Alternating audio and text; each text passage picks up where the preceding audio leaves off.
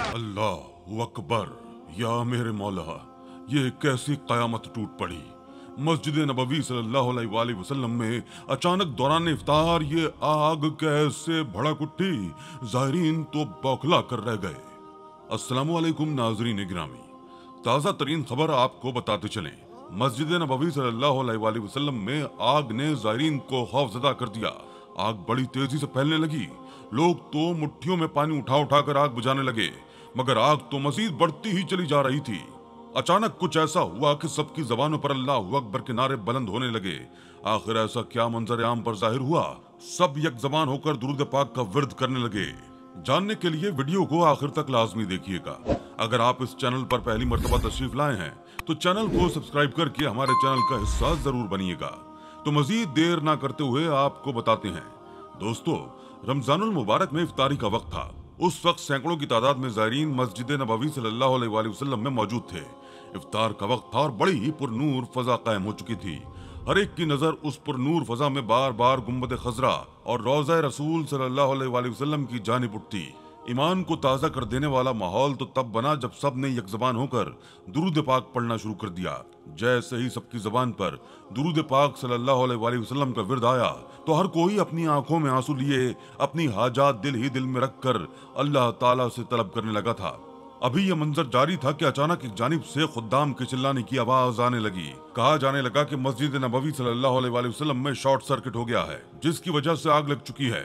एकदम वहाँ अफरा तफरी सी मच चुकी थी। आग के मरगोले और तपिश उड़कर वहाँ तक आने लगी, जहाँ कई जारीन बैठे दुरूद पाक का विरद कर रहे थे। कोई भी इस मौके के लिए तैयार न था। अचानक से होने वाले इस हादसे ने सबको परेशान के साथ साथ खौफ जदा भी कर दिया था। लोग हड़बड़ा कर इधर उधर देखने लगे कि जब अगले ही पल अचानक और एक धमाके की सूरत में वो आग बढ़ने लगी। लोगों ने जब मस्जिद नबवी सल्लल्लाहु अलैहि वसल्लम के सामने आग भड़कती देखी तो फ़ौरन अपनी अपनी निशस्तों को छोड़कर उठ खड़े हुए थे। इफ्तारी का वक्त हो चुका था, मगर किसी को भी इफ्तारी का होश नहीं था। सब अपनी जान बचाने की खातिर उठ खड़े हुए थे। वहाँ पर खुदाम की तादाद चंद एक ही थी, मगर जायरीन तो हज़ारों के हिसाब से मौजूद थे। जब खुदाम की कोशिशों से आग न बुझी तो वहाँ पर मौजूद जायरीन ने भी खुदाम की आग बुझाने में मदद करना शुरू कर दी। हर सूसिया धुआँ फैलने लगा था। लोग खांसने लगे थे। जिन लोगों के पास कोई चीज़ मौजूद न थी, जिससे कि वो पानी डालकर आग को बुझा सके तो इन लोगों ने अपने मुट्ठियों में ही पानी लाकर गिराना शुरू कर दिया था। इन लोगों की आँखों में आँसू थे। रोते हुए यही दुआ कर रहे थे कि मेरे अल्लाह, ये कैसी आफत अचानक हम पर टूट पड़ी। खुदारा हमारी मदद फरमा, हमारे गुनाहों को बख्श दे, और आप सल्लल्लाहु अलैहि वसल्लम को इस आग की लपेट से बचा ले। रोज़ा रसूल सल्लल्लाहु अलैहि वसल्लम इस आग से महफूज था। वो हाथ उठाकर दुआ करने लगे थे, मगर आग तो बुझने का नाम ही नहीं ले रही थी। बड़े बड़े पाइप लगाकर आग को भड़कने से रोकने की पूरी पूरी कोशिश की जा रही थी। मगर वायरिंग जलने की वजह से काला धुआँ इस कदर फजा में ज़्यादा फैल रहा था कि लोगों को खांसी शुरू हो चुकी थी।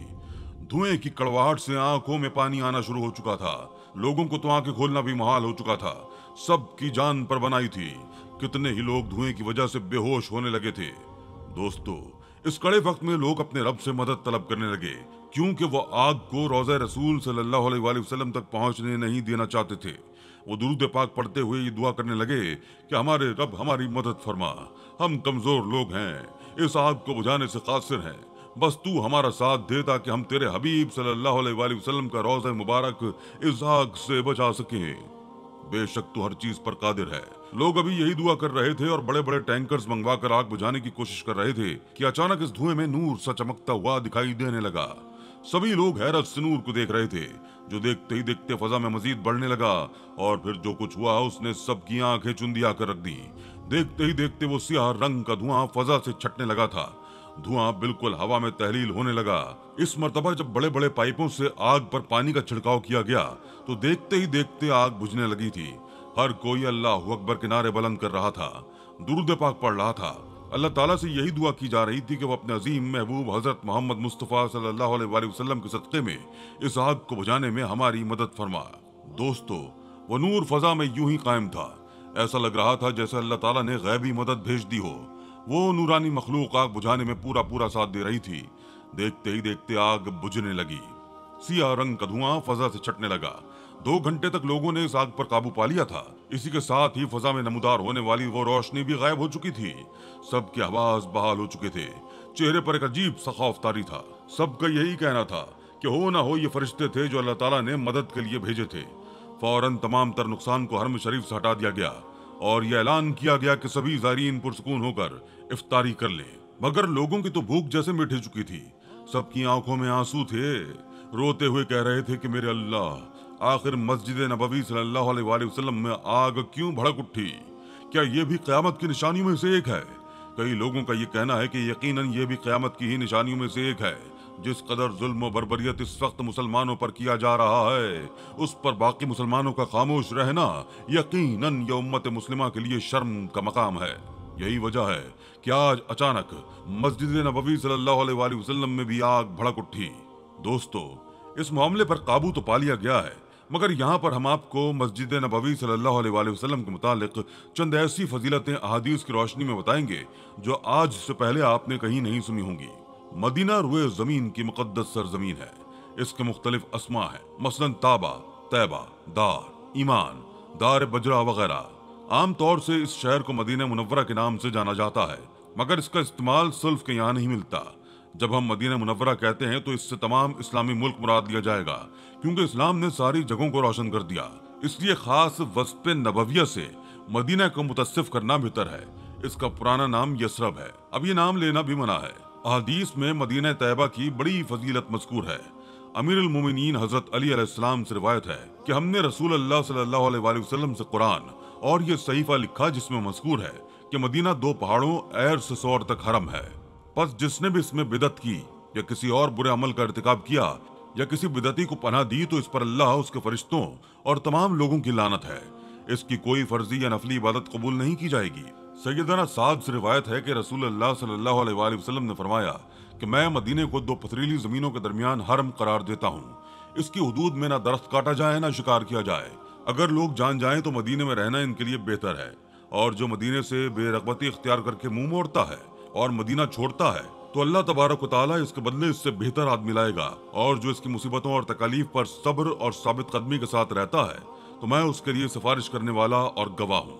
सैदना अबू सईद रज़ी अल्लाह से रिवायत है कि रसूल अल्लाह सल्लल्लाहु अलैहि वसल्लम ने फरमाया कि सैदना इब्राहिम सलाम ने मक्का मुअज्जम को हरम करार दिया, और मैं मदीने को दो पहाड़ों के दरमियान हरम करार देता हूँ। इसमें ना खून बहाया जाए, न लड़ाई के लिए असलिया उठाया जाए, और न दरख्त काटा जाए। मगर घास और चारा काटने की इजाज़त है। उमुल मोमिनीन हज़रत आयशा सिद्दीका रज़ी अल्लाह से रिवायत है कि रसूल सल्लल्लाहु अलैहि वसल्लम जब मदीना आए तो हज़रत अबू बकर और हज़रत बिलाल हफ्शी रज़ी तु को बुखार था। तो मैंने आप सल्लल्लाहु अलैहि को इत्तला दी।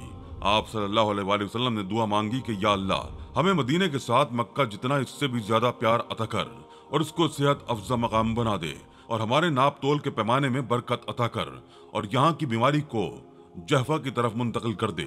हज़रत अबू हुरैरा रज़ी तु से रवायत है कि रसूल अल्लाह सल्लल्लाहु अलैहि वसल्लम ने फरमाया, मुझे ऐसी बस्ती में रहने का हुक्म हुआ है जो तमाम गाँव और बस्तियों पर गालिब आने वाली है। लोग इसको यसरब कहते हैं और वो मदीना है। ये शहर लोगों को कुफर से इस तरह साफ़ करता है जिस तरह भट्टी लोहे को साफ़ करती है। हज़रत जाबिर बिन समरा रज़ी अल्लाह तु से रिवायत है कि मैंने रसूल अल्लाह सल्लल्लाहु अलैहि वसल्लम से ये फरमाते हुए सुना कि अल्लाह तबारक ताला ने मदीने को ताबा पाक और बेहतर का नाम दिया है। रसूल अल्लाह वसल्लम ने फरमाया कि मदीने की गलियों पर फरिश्ते हिस्सादा हैं, ताकि इसमें ताउन और दज्जाल दाखिल ना हो सके। हज़रत साद रज़ी से रिवायत है कि रसूल अल्लाह वसल्लम ने फरमाया कि जो शख्स अहले मदीना के लिए बुरी सोच सोचेगा तो वह ऐसे गल सड़कर तबाह हो जाएगा जिस तरह नमक पानी में गल जाता है। हज़रत अनस रज़ी अल्लाह से रिवायत है कि सफ़र से वापसी पर जब रसूल अल्लाह सल्लल्लाहु वसल्लम की नज़र मदीने की दीवारों पर पड़ती तो फरते जज्बात से आप सल्लल्लाहु अलैहि वसल्लम सवारी को दौड़ाते और उसको तेज कर देते। हज़रत अबू बकर से रिवायत है कि रसूल अल्लाह सल्लल्लाहु अलैहि वसल्लम ने फरमाया कि मदीने में दज्जाल का खौफ और दबदबा दाखिल नहीं हो सकेगा। उस वक्त मदीने के सात दरवाजे होंगे और हर दरवाजे पर दो फरिश्ते इस्तादा होंगे। हज़रत अनस रज़ी अल्लाह से रिवायत है कि रसूल अल्लाह सल्लल्लाहु अलैहि वसल्लम ने दुआ फरमाई कि या अल्लाह मदीने में मक्का मौजमा से दुगनी बरकत नाजिल फरमा।